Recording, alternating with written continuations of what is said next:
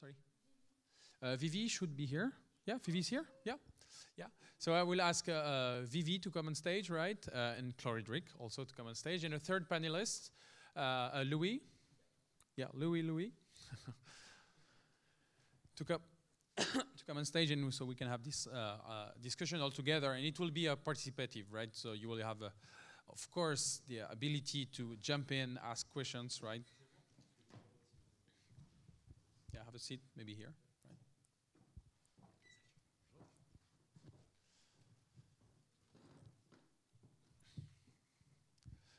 So okay. So, so we will start uh, uh, this discussion. So the the panel will be really about like how we call sometimes the big tech versus the multitude, right? So uh, actually, what we can or can't or should or should not learn, do, or act uh, uh, to. Uh, yeah, thank you very much. And so for this uh, panel, so you, we had, uh, for the people who were there, uh, Viivi was presenting earlier in Klorydryk. We also host a new panelist, Louis here from Digital New Deal. So maybe we can make a small turn, like maybe just small presentation for both of you, for people who were there. And maybe Louis, you can tell a little bit more about the, um, where you come from and uh, also uh, what you've recently published to start the discussion, right? So maybe Viivi, can you begin? Sure, just a couple of words about myself. Yeah? Yeah, yeah. Sure. Um, so, yeah, my name is Viivi Lahteenoja. I uh, come here from Helsinki, uh, where I work as the Deputy General Manager for an organization called My Data Global. And we work for the human centric um, control of personal data and this kind of a shift in the personal data paradigm. Yeah, yeah. Can you share the mic? No. Can you say just a word for, for the people who are not there to your presentation? Can you just say who you are? Okay, so I'm Klorydryk, and I'm a, me- I'm a- a member of La Quadrature du Net, which is an organization, uh, uh, NGO, uh, defending the right and freedom uh, on the digital uh, place. Uh, hi, my name is Louis. Uh, I work for the think tank Digital New Deal. Um, basically, our work tries to decipher what is at stake um, in the digital revolution, and our work is mostly focused on regulation. And maybe that would be a start. Uh, we've published um, in the beginning of September a note called Big Tech Regulation. Uh, empower the many by regulating a few, and we try to address the, uh, the topic of big tech regulation, and we propose basically a, um, a regulation that would be directly specified for the big techs, uh, maybe. Uh, Yeah. And so actually, what could be great? So this uh, uh, this paper is available on the on the, um, the Digital New Deal Foundation uh, website, but he has uh, like five points, right? You know, it has a five main point. Can you try to elaborate on, on some of the points too? Yeah, of course. Um, the, the the basis of the of the report was to say that um, these big tech companies have grounded their success on three main pillars that are quite simple. It's significant economies of scale, uh, powerful network effects that you guys might know. Uh, that basically the value of a service increases according to the number of uh, others using it. And the third one is the free access to the services that uh, help them acquire audience. Um, and in our opinion, is a threat for sovereignty in its uh, different exceptions, uh, state sovereignty, uh, because of security, because of the dependence on infrastru- infrastructures, for citizen so- sovereignty, and it's uh, what La Quadrature uh, works a lot on uh, for civil, civil liberties, personal data treatment, and for companies' sovereignty as well, because they have, they have no access to data and they have huge barriers to enter the market. And so we've done um, four main proposals. The first one was basically to tougher uh, antitrust rules for big tech companies, um, basically by saying uh, we should um, um, make them accountable for uh, basically the, the harm they make to society in general. The second one was to extend the concept of net neutrality uh, to devices. Uh, the third one was to consider data as a common good, uh, with two main proposals uh, that were considered data as essential infrastructures. And the second one was, I'm sorry, just. Uh, the second one was, um, yeah, set up a neutral ser- server managed by an inde- independent third party. And the fourth proposal, which uh, contributed to, um, was basically uh, try to set up an API-driven regulation. And uh, Mehdi two main proposals, which were uh, the first one, the concept of API neu- neutrality, And the second one that, in my opinion, is really interesting and that I look forward to see developed uh, in our society is basically the right to be represented by a bot, or um, if I say it other well, uh, otherwise, it's basically to create like uh, individual APIs to handle and manage uh, our personal data. So yeah, so this note is uh, uh, is interesting, uh, but but yeah, so uh, maybe to open the, the discussion. So uh, big tech, multitude, right? Actually, uh, what we can do, or what we should do, right? Because just I use Google as for my search. I'm on Netflix one hour a day, right? I'm on I'm, I'm on an iPhone, right? I take Uber or sometimes Marcel, you know, when when they're available. So yeah, so they really they we use these big techs in our lives, right? Um, there is also uh, in big tech. I also consider governments at some point, yeah, because they're they're also one part of the, uh, the um, deploying tech, right, uh, for um, for doing mass uh, uh, scale.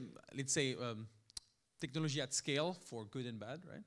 uh, yeah, what, what actually we can do, right? Um, you know, so maybe uh, Viivi with my data, uh, you know, what what's your work on this? Um, so I think uh, it's it's interesting to, to sit on this panel and, and hear hear the backgrounds because uh, I hear um, obviously a critique of, of technological solutionism, uh, but I also hear very optimistic ideas about regulation. Um, I think that we need both of those, and we also what we do need to do is to take into to consideration the marketplace and business um, to create sustainable business models uh, and to make sure that the kind of ethical use of personal data or data in general is, is always the most profitable one.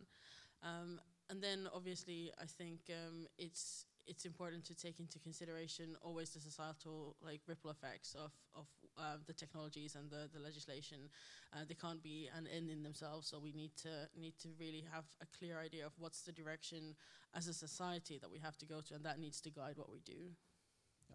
Klorydryk, maybe you wanna. Yeah, we we um, proposed some, uh, some, a few months ago um, uh, to to force the big companies uh, to create an interoperability um, to say that, uh, yeah, the, the, the way the, this big company works uh, is not sustainable because people stay in this company only because there are the social relation uh, inside. In, in Facebook, for the, the, first one, the big one, um, people stay uh, as it is a very big problem, a very big issue to stay there because there are big, uh, a lot of problems with what people uh, can watch uh, on Facebook, uh, the way uh, it is um, the, the, selection of of information people provide to, to Facebook provide to people.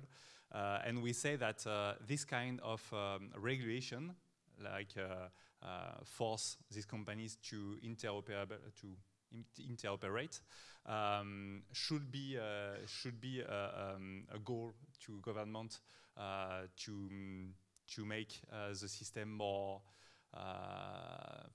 much more better for people. So that's a, a big a big proposal we have. Uh, and uh, yeah, you you you say the uh, we we need to to to manage um, some, some, better place for for people, and um, the data should be used correctly.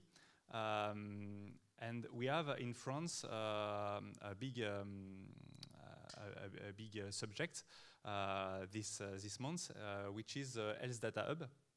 And the Health Data Hub is a very big database with a lot of information of health in France.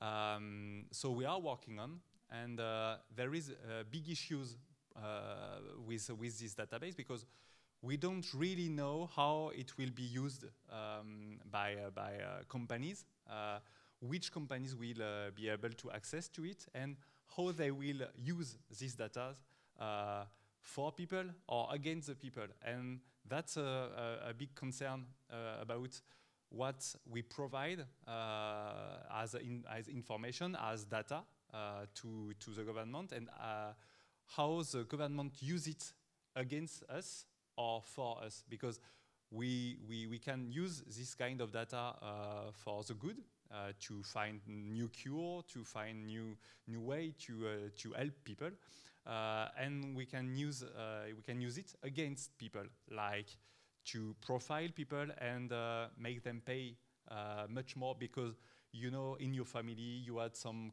some some problems, health problems, so we don't want to to assure you if if you don't pay more.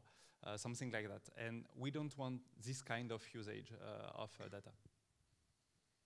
Yeah, on the regulation use. Um, basically, yeah, I'm, I'm totally right with what you said. Um, in my opinion, we are coerced in using like these services, and basically, this is the uh, yeah free will questions. Like, do we have the choice to actually use Facebook, to actually use Google? I don't think we have. I think we just depend on it, and I think it's uh, linked to their um, the ideology that is behind these companies, and it, that is basically the um, libertarian, yeah, you, you got it, um, that basically says that um, it's um, individual liberties that are over general interest, and this is a conception of life that is completely different from what we know in Europe. Um, they basically think that their services, and because they're free, uh, could and should replace what the states offer and what are the missions of the state, which is basically offering public services. And, uh, and that is like a main issue. Um, for example, I've seen on Twitter, like recently, um, uh, it was about the JUMP uh, services of mobility, and they were showing that um, the app was uh, only available in, let's say, the safe neighborhood of Paris, and basically putting on the side the neighborhoods that were considered as non-safe which is a nonsense. The, the um, no-go zones. Yeah, right? the no-go zones in Paris. Yeah, exactly. Um, and so I think there's two way of um, basically addressing this issue. Um, I think both Klorydryk uh, Association and mine are really different because we actually don't uh, fight on the same, um, let's say, yeah, we don't have the same aim. Um, mine is more uh, about like, yeah, market market choice, like having the choice of you know having a, an economic uh, competition, and Klorydryk is more in civil liberties. But I think both are, let's say, um, not similar, but we're like kind of uh, trying to go the same way. Um, and I want to make one point is like when I say we should regulate, it's important to regulate, but it's important to regulate not to give more power to the states. And this is a link with what Klorydryk was saying in his presentation. Um, we should find a way of regulating um, by giving power to the what we've called the multitude, which is the many innovators like uh, startups, citizens. Uh, we give we need to give them access to data so they can actually innovate and uh, and offer alternatives. So actually, the, the aim of, of this panel was really to uh, to define how we can reconcile reconcile the citizen and the customer, right, and find maybe like some overlap to have uh, the economic and the politics power to the same to the same uh, nudge, right? So one question. So uh, last year we had this awesome uh, regulation called GDPR, right? Uh, that came into into the game, right? Uh, I've read a number that uh, 250 billion dollars have, have been spent to be compliant, right? You know, so it's a huge amount of money, right? But actually, what's the what's the impact for us, right? You know, um, just an example. I've made like more than 150 GDPR requests for companies. They, they're not ready, most of them. They don't comply, right? So, and so my question is like, uh, to you today, from all what you've done with the, my data, with the, uh, La Quadrature and, uh, and uh, with Digital New Deal, is the GDPR just a, a tiger of paper? Ooh. Yeah, this year we we find Google with uh, 50 million euros, uh, so that's something. Uh, but yeah, we we um, we made some um, um, we ah comment in French euh, non on a on a fait des poursuivi on a poursuivi on a you sued them you sued them yeah yeah we sue uh, sorry we sue um, Amazon uh, Facebook uh, Microsoft um, etc. And the only one uh, who has been fined is Google in France. The other one are now in uh, Luxembourg for Microsoft and, um, and in uh, uh, Ireland for the other one. And we know that they play with that, saying that, yeah, we are in Ireland, but it is just uh, that uh, our company is in Ireland. It is not because Ireland is nice with us, uh, and uh, they are they are all the companies, uh, the American companies, and so they are full and they can't uh, prosecute correctly. Um, so yeah, we have a problem with the GDPR like that because um, they should be able to to manage all the cases in all Europe. Uh, to, to move the cases in all Europe, but for now, uh, for, for now, it is not working like that. So we have a big problem, a big issue with uh, with that. So it's divide and conquer, right? They used all the countries of Europe to divide and conquer. Yeah, and it is what uh, they uh, the, the, the CNIL uh, doesn't want to. They say that they wanted a text for all Europe uh, to to avoid this kind of problem, and we are blocked by this problem now. So yeah, we have this uh, this big issue, and we we prosecute um, uh, these companies, these five companies, the GAFAM, uh, exactly for this reason to test uh, to test the GDPR, and we know that this is not working correctly. And Viivi on GDPR, yeah, you it has been big topic at my data, right? Of course it has, and um, I would I would agree uh, with uh, with what was said before, but I would also like to point out that uh, I think the GDPR is a massive symbolic success. Uh, it's it's something that the world is looking to as a benchmark for regulation in this space. Uh, we have the CCPA in California coming into effect just next month. Um, they're talking about federal legislation uh, that's going to be very much aligned with with the the GDPR. We have Brazil, we have Japan, we have all over the world. Uh, people waking up to this. I think th- the the EU was incredibly prescient um, and forward thinking and forward looking when they started drafting this already years and years ago. Um, and now the rest of the world is kind of waking up to, to the power that is personal data. So in, in that sense, I think it's been a, a success. Uh, obviously, the implementation, enforcement, there are massive problems there, um, but it's it's not. There's also a, a huge upside. I think. Yes, Louis, with the yeah, you work on Yeah. this too. right? Really quickly, um, I totally agree with what was said, and especially what uh, Viivi said. Is um, I think it was really symbolic to actually vote the GDPR, and it's good because Europe is basically uh, seen as like a um, really a normative space uh, that we are able to actually put rules uh, on digital issues. So that is a good thing. And actually, as you said, it's being um, basically uh, duplicates in different ways, but like let's say the basis is there in uh, many other countries in the world. Um, I would just say that, in my opinion, um, the issue with that kind of regulation is that it's horizontal and basically it um, it puts every actors on the same level, which is different because which you can't do. I mean, a big tech companies is not like a small uh, business. Maybe you guys have uh, like a, a, small business company. Um, you're not uh, equal uh, in terms of the GDPR to actually um, be compliant to the GDPR if you're an SME or if you're a big tech company. And actually, this is something that we've uh, witnessed with the GDPR. It's like big tech companies have, um, um, how do you say, um, offered services to actually be compliant to the GDPR to small companies because the first one that were compliant were the big tech. So it was a symbolic, but I think it's just a first step uh, for next uh, decisions. Yeah, what we say in La Quadrature is that uh, if you want to manage uh, personal data, it is like uh, you are a very little company and uh, saying, "Oh, it is too too uh, too complicated to uh, to use personal data with the GDPR." Yeah, but if you want to be a little company and use radioactive matter, uh, th- there is a big issue. It is the same. a new metaphor data as a radioactive material right no but uh, yeah th- the thing is um, you know um, some people say in europe we're great to uh, use money to make regulation right and in the us they are great to use regulation to make money right you know and so my point here is that okay we are in europe we're winning the ideas part you know even in banks we have the psd2 regulation that oblige banks to, ha- to have a neut- neutral apis right the api neutrality uh, and um, yeah, but again, it's taken all over the world. Everybody's following that. But the banking ecosystem, right, are actually settling in uh, Southeast Asia or in the US and, and other places. So is with GDPR the same, right? You know, you're you believe in let's say freer markets, right? Free competition, right? So uh, yeah, because GDPR was launched without the tools to make GDPR happen.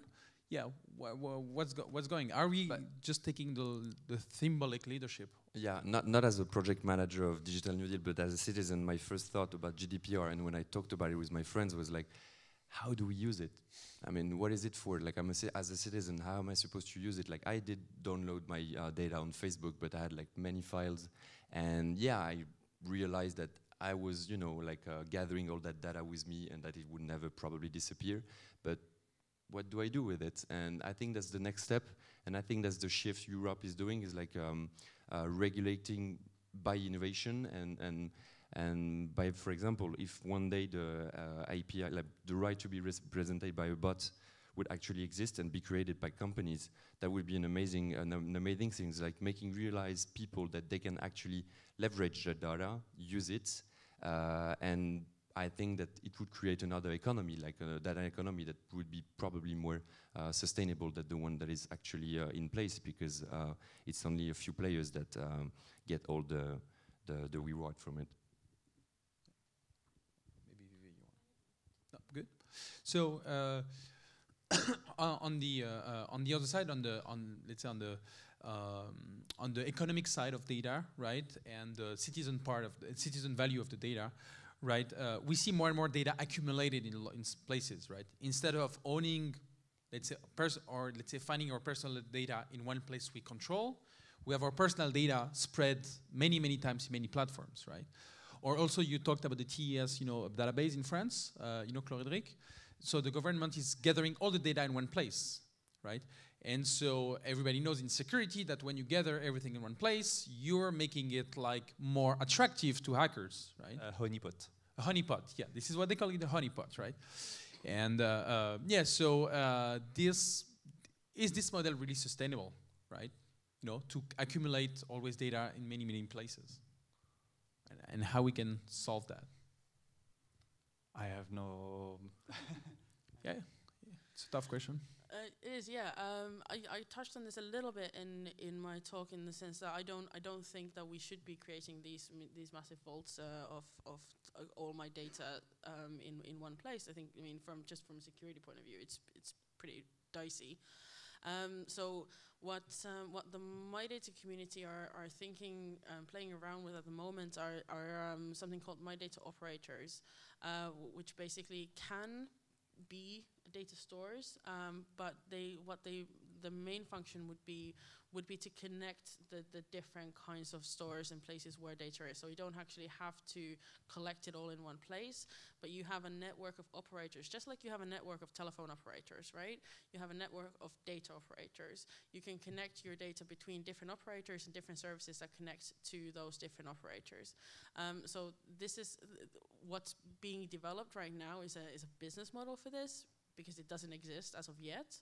Um, but um, that's that's the kind of my data way of, of approaching this issue. Uh, 10 years ago, uh, Sarkozy tried to create um, identity card with um, with a chip inside, two chips, uh, one for the identity and uh, the other one to um, uh, to provide uh, some information to um, to buy things on the internet um, or to connect to the internet to be sure you are the real person uh, um, uh, on the on the computer. Um, and uh, the CNIL was not uh, fine with that. Uh, the Conseil constitutionnel was not fine with that. Uh, La Quadrature was not fine with that. Um, and uh, what the CNIL said is that it should be um, because the, the chip was just um, connected to a database of uh, the police uh, in France uh, with all the information, facial recognition, a lot of information about you in a big database like the Honeypot. Um, and what the CNIL said, in La Quadrature tools, it was that you should put all the information in the identity card, and everybody should be able to um, to decide if they want to give the information to the police or not. If the police uh, don't have the right to arrest you, like you are some black people and they are in the street and they say, "Oh, a black people, we arrest you. Give me uh, your identity card. We will check." Um, they can't in France. It is not uh, allowed. Um, you should be able to not give them information about uh, about you because you own your information inside the identity card and they have no information uh, about you. So that's a solution to move the information to the people and not to keep them in a big database in the government. I, I know you, you fight hardly for freedom, right? Uh, uh, with La Quadrature, right? But just a question, I've visited some countries at the border. They ask me my email address. They ask me my social accounts.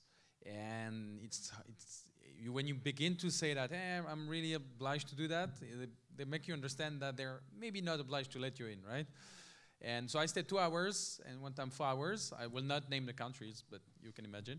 Um, and, and, yes, and, and some countries were not considered as democracies, right? So I was ready. But some countries were were considered or claiming they were democracies right, at, at, this point, right? And I understand the fact that you, you, you need to know who is on your own territory, right? But uh, they even do that for their own citizens, right? So, uh, so yeah, so can we really say no to a policeman asking for something?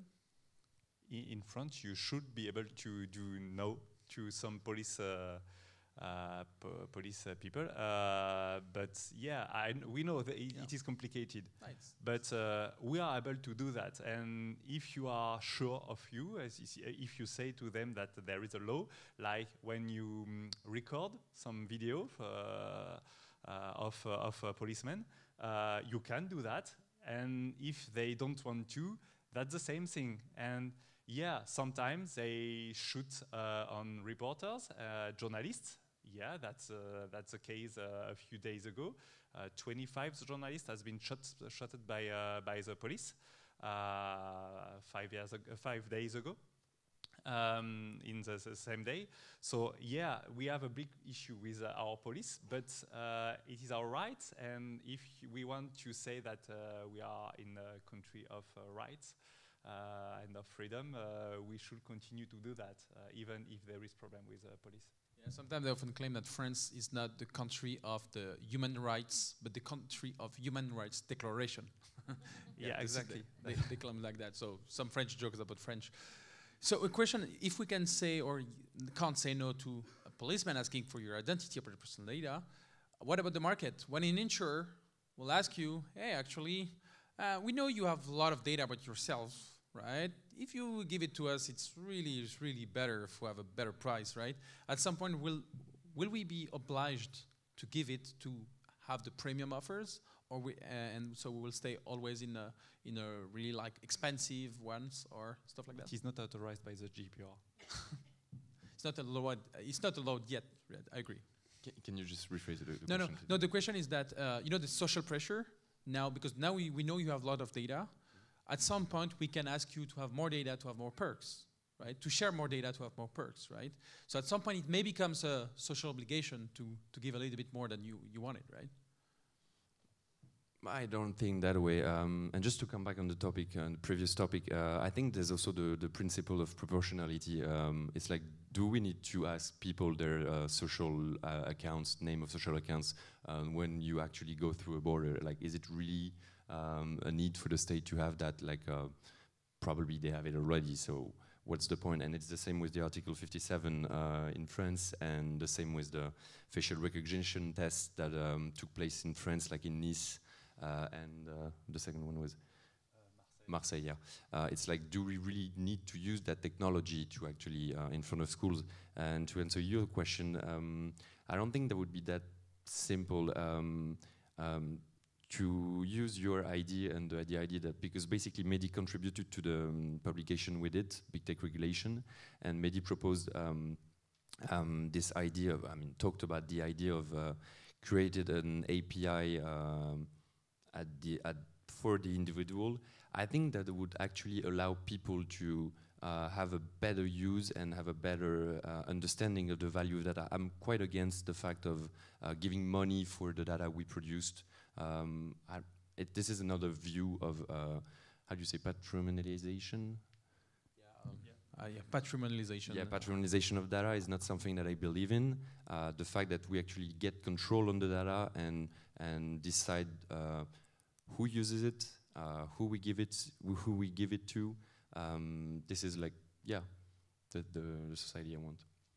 Yeah, no, so because everybody talks about the data economy, right, or the data, the value of data, but actually, uh, when people try to define how much value it is, you know, they try to find an advertisement market. That's approximately $300 per person per year, approximately. Some people consider the capital, hey, if this data is shared to other companies, right? And some people evaluate it to $10,000, right? Approximately, right? You know, uh, my Facebook data, if it would be shared with everybody, right? Uh, but yeah, but it's it's it's not enough, at least for now. It's not enough for a company to really live, right? Or to be, to make sustainable thing. Mostly because actually the, how Facebook uses data, they are made to use this data. When you are someone else, you will be just a degraded version, right? Using you will just be, use what you can, right? And then when you do your GDPR dumps, uh, takeouts, they know that this is what they think. So, uh, uh, so yeah, so maybe Viivi on, on the data economy, right? Who will be the, the, the sustainable models, right? You say infrastructure, but can you also do uh, more with the data? Um, or should you? Should should we do more? I think yes, uh, we should do more with data because there's I, I, think there's no good reason not to do good things with data. Obviously, the, the emphasis on the on the word good there. Um, we should um, absolutely be be getting all the benefit we can out of data.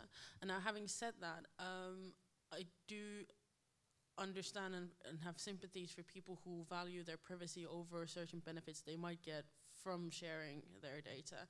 And that's also part of my data is that because we all uh, exist on this spectrum, right? So, uh, sort of at the one end is like absolute privacy. I don't want anyone to know my name, my who I am online. And then the, at the other end is I want as as customized as possible services um, and uh, things uh, like benefits which are which are are um, coming to me only if I if I share my personal data. And I think it's it's the point of my data is that we all get to choose where we land on that spectrum and then act accordingly and have those wishes respected, right? Um, so it's um, when I, when I said yes, we should be using more data. I'm not saying you as a person should be doing sharing more data, but we as a society, yes, I think there's still so much potential in data that we should be using more of it. So if you want to add something to yeah oh, no so if we have uh, if we have more data uh, yeah if we have more data out um, there's a lot of possibility about fakes, right, and deep fakes. So I don't know. Some some some people show that, for example, if they take H, uh, HD photos of your fingers, they can recompose your fingerprints, right? You know, and they made on the ministry Ursula von der Leyen in Germany. Now she has better uh, responsibilities, right? So yeah, and he took a photos, right, the HD photo, and he was able to do a fingerprint, right, uh, based on that, right? So the more data we'll produce, the more trace of ourselves we'll be able to do, right? So as long as we are nobody, it's fine. But when we will be someone, so uh, so yeah. So how? Maybe at the Quadrature. This is also what you fight for. You know. Mm, I, uh, this is not really what we what we we, we fight for. Um, we we fight to to. I, I, I don't know how to yeah. to to. no, no. The, the question is like with more data out, you know, with more data out, you know, we leave more trace of, your, of ourselves. But uh, but you, you should not, as a company, use uh, this kind of data uh, a way uh, you, you're not able to, to, to use them. So, um, and, and in, in the GDPR, that uh, it is a text uh, we, we worked on 10 years ago, um, you, you should not get information you will not use in your process. So um, it is a minimization of uh, the data. So you should not get information uh, you, you don't have you don't need to use. Uh, so I don't think um, we will have a lot of information uh, in a few years uh, in all these companies. Um, only uh, when you are in the social media like Facebook and you put you by yourself some information but the other companies should not um, get a lot of information. So I don't, I don't know if it will really happen. So wh why I'm asking that because I've tried to ask my data from Facebook, right? And uh, and when they send me the data, as you say, there is no links. There is not the social graph, right? They, they tell you, oh, for example, Louis is your friend, but they don't tell you whose Louis it is on the network, right? They just give you L O U I S, right? That's it, right? No, no identifier, right? As we say technically. So I, I had a long discussion, exchanged it with them. It takes 15 days e- each, but it's fine. Would say no. I, I want my identifier. This is my friend. This is a connection I made on your system, thanks to me. So I own the connection. And say no, you don't own the connection. The connection is owned by us, right? So this is why I'm asking that also is that uh, what would you answer to this to, to this kind of uh, discussion, right? You will save me thousands of dollars of lawyer, by the way, if you're able to do. But yeah, but these companies do not do not comply, right? They claim that actually the data you have on a network, they just give you us really, really what the GDPR said. That's what you produce directly, right? But a social graph is a bijection. It's you have to be two, right, to, to generate it. So, uh, uh, have you ever faced this kind of Tha- that's the reason we, we push for the interoperability because this uh, this bijection doesn't uh, uh, is not a Facebook um, a Facebook information. It is your information. You provide them uh, this connection.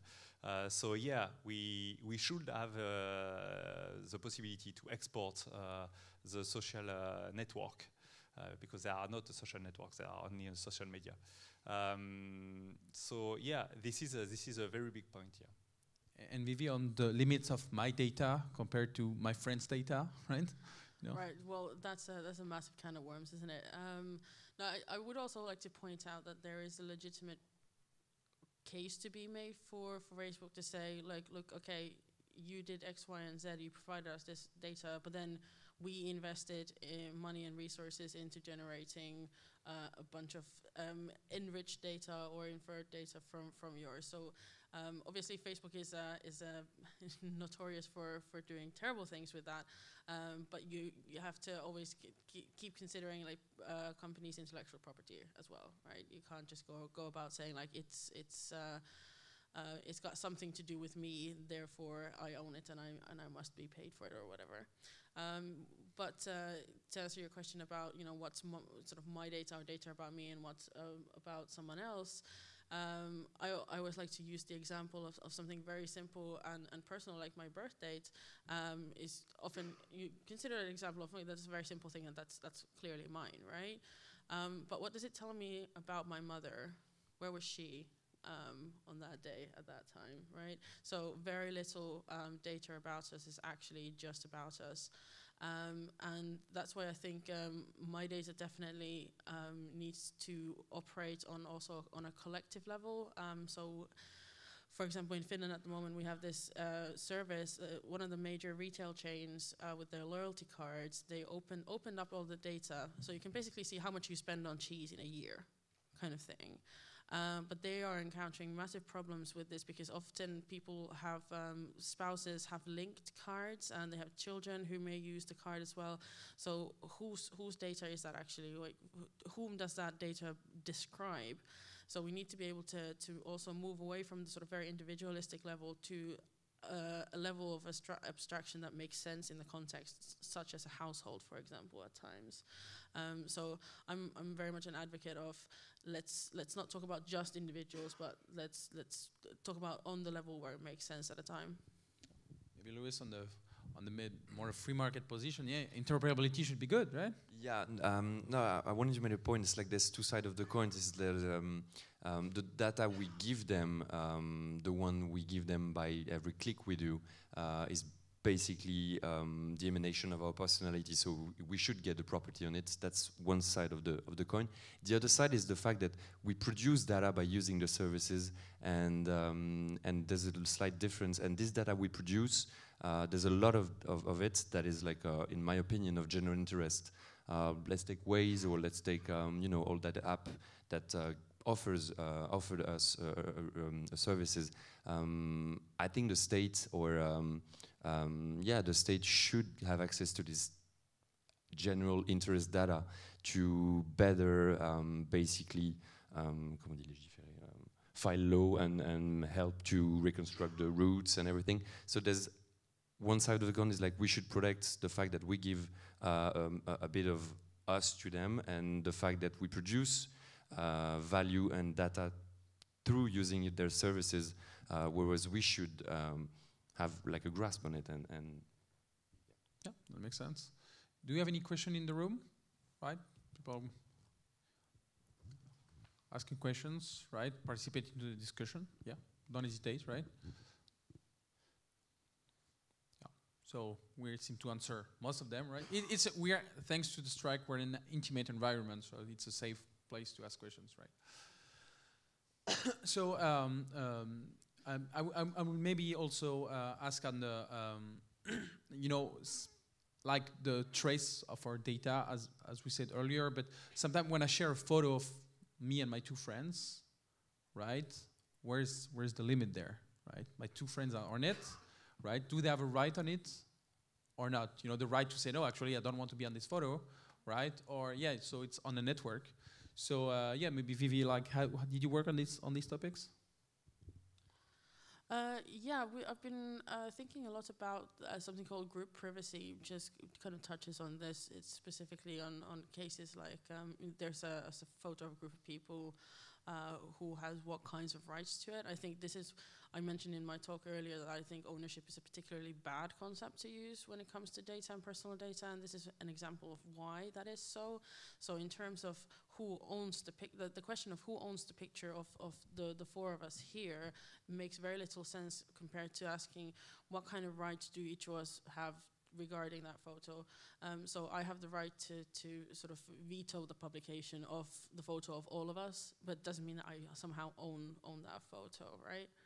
Um, there was um, an interesting case that um, I, I stumbled across, um, which is um, related to this, but which I don't don't really have the answer to. So if I if I ask um, you to remove some some personal information of mine from from a website, right? Um, and I have I have that right uh, to ask you to do that. Um, but you don't want to be seen as active on that site at that time, and there will be a log of you deleting um, my information from there. So, do you have the right to refuse to share your data in order to kind of comply with my request to, to delete my data? Um, so, these are the kind of questions that I'm, I'm thinking about um, sort of academically at the moment. Yeah, and as a philosopher, background in philosophy, yeah, only people like you spending all the time can answer these kind of tough, uh, tough questions. So um, yeah, we have time for one more, for one question, if you will. Yeah, yeah. So maybe Adam, can you help?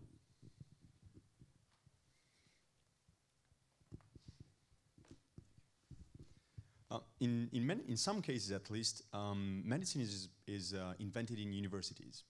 And if you think of our tax money, we pay for universities, we pay for doctors, and they invent medicine that we still buy afterwards.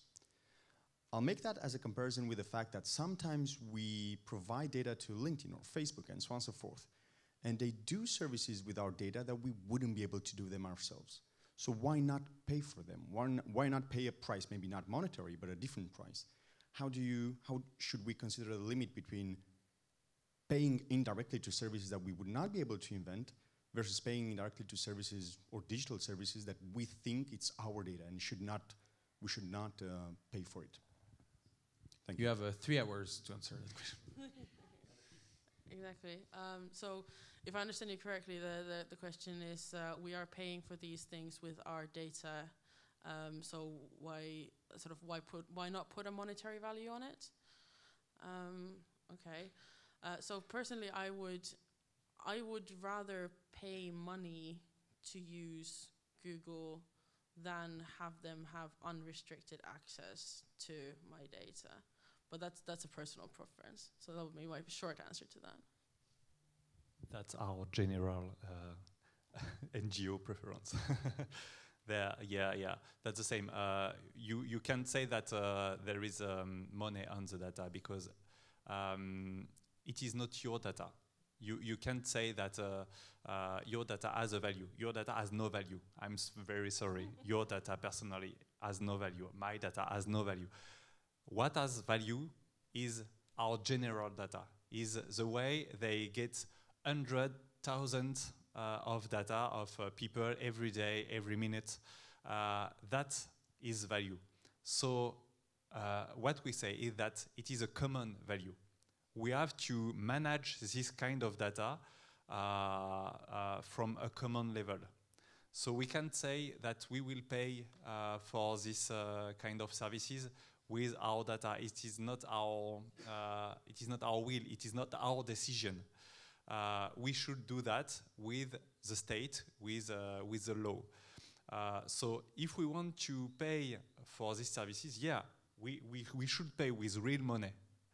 Uh, if they want to uh, create services with, um, with our personal data, uh, it is forbidden by the GDPR. They can't use it the way we don't want. Uh, and uh, it is, uh, and we, we don't should um, be able to say that there is a specific um, value to our data. Um, yeah, and this question will allow me to actually circle with what I said first. Um, I think I don't want to give them that much power to handle basically, and the companies you've basically specified is uh, companies that compete public services, and I don't want to give them the possibility and too much power to actually handle this. Um, my conception uh, is that, yeah, the state is supposed to actually provide through the tax we paid, and the issue is that they don't pay taxes, um, so I'm not going to give them money, whereas they don't pay taxes, so they offer me services that the state should provide. And I think that's um, that's the main issue that is trying to be ruled right now. Uh, and let's see if uh, the uh, OECD gets uh, an agreement. Yeah. So what you say is that e- if everybody make a GDPR request and give all the data to some to a company to another company, they could do a similar service. Mm, two. They could do a similar service if every one of us make a GDPR request, right, and send the money to the other. I have no idea. Let's see. Hey, you asked me I a don't know. question. I, I, we can dream. yeah, let's dream. It's free, right? I mean, you've been pessimistic the whole the whole talk, so now you're being optimistic. yeah, we need to find a, you know, yeah, we, we need to, to be pessimistic, right? Uh, to be optimistic, sorry. We need to be optimistic. We need to be pessimistic to understand that we need to be optimistic, right? Yeah. You know. Yeah. So maybe a- maybe a last word, uh, last word, and thank you for everybody to uh, uh, to have an active um, uh, listening. Uh, how we can help you contribute to what you do, and where we need to go next to uh, you know to know more about what you do. Um, mydata.org uh, has all the information, um, and we need people who work with personal data, around personal data, to to kind of learn about my data and, and who people who share our values to, to work for them in in their organizations. Um, I think the best place to get to know us, base, best place to get to know us is Slack. Uh, so head on over there and um, you can find out different ways to contribute. Yeah, Thank you, Viivi. Klorydryk. Yeah, um, the La Quadrature is an NGO uh, living only with uh, what you give to us. So we, you can give uh, money to, to La Quadrature to help us. Uh, and um, Can, yeah, we, can we give data too, instead of money? no, no, no, we Uh, don't just take money. data. Uh, we only, uh, you know, in France, uh, you need, if you have a, um, a digital service, uh, you need to keep uh, information uh, for a year, for one year. Uh, and we attack uh, this uh, in the European Court. Um, and in La Quadrature, we only keep information about uh, connections for uh, 15 days. Um, and uh, yeah, I, I think it is important to, to know that uh, there is other way to connect to the social uh, to your social network, uh, like le, the Fediverse. The Fediverse is another way to to to use um, social media, uh, like Mastodon. Uh, it is uh, like Twitter uh, and other things like that. You can provide your own uh, server, your own service, uh, and every everybody could provide this kind of thing, and everything is connected. Like in Mastodon, you have PeerTube. PeerTube is providing videos, and you can connect with your Mastodon account. So all is connected, and we are working on it to demonstrate that uh, there is another way that only big companies to provide services. Uh, the, it is not the, the only way to do that. When there is a will, there is a way, right? Yeah. Um, so um, our think tank is really a small structure because we're three and I'm actually the uh, only employee. Um, so you can just yeah go on the website and you can check the the last report. Um, that is called I think the one is, is really related to the topic we talked um, today. that is called uh, again um, big tech regulation, uh, empower the many by regulating a few, and there's a few uh, leads in it that that can actually. Uh, it's a bit of food for thought, I guess, um, and uh, it actually tries to, yeah, to help uh, our political figures to grasp a bit about what's happening right now, because I think that's uh, main issue is that they don't grasp it and they don't understand it. And to finish, I'll say that, um, in my opinion, uh, the main thing, and it's something I do every day, is like talk about this with uh, uh friends, family, um, to not have a pessimistic, but just make people aware of what is happening right now. Uh, that could be, uh, as per civil liberties, threats. that could be, as per markets, free markets. Um, you know, threat and no competition. And, uh, and so I think it's also this, and we're going on the right way uh, to actually spread uh, the awareness of people. Uh, but let's uh, let's keep doing it. Yeah. So be a and node. Thank you, Mehdi, for inviting. Be a node of you know the spread. Yeah. Yeah, exactly uh, in the network. So few few things uh, for the people who are playing the Escape the Conference game. So it will be at 1 p.m. You know the results you will see like what actually they will win or, or, or stuff. And also we have a, um, uh, we will end today about the uh, uh, digital sobriety, right, panel, how to make, uh, let's say, lower emission IT architecture and systems, right, at 4 p.m. Here. Thank you very much for active listening, and thank you for this panel. We can have a warm applause for them. Thank you very much.